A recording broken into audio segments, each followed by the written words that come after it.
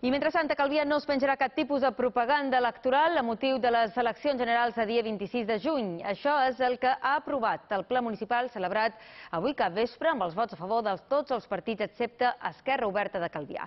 Pensen que és innecessària la col·locació de més propaganda quan només fa uns mesos ja es varen celebrar unes eleccions. A més, segons l'equip de govern, dona mala imatge a les zones turístiques. En el ple d'avui, el Partit Popular també ha presentat una moció per fer una consulta ciutadana sobre el topònim topònim del nucli turístic de Peguera. Han argumentat que històricament i popularment Peguera s'escrivia en va i volen que siguin els ciutadans qui ho triïn. El ple ha rebutjat la moció amb els vots en contra de tots els partits manco el PP perquè pensen que la competència en matèria lingüística depèn de la Universitat de les Illes i l'Estatut d'Autonomia.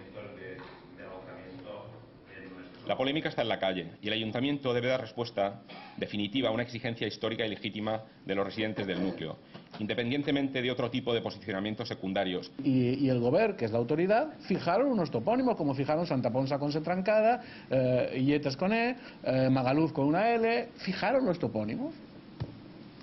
Que nosotros queremos decirle a la UIP, piénsenlo porque hay documentos históricos que dicen que es con A, perfecto, estupendo, es lo que estamos haciendo, llevándoselo a la WIP y al gobierno.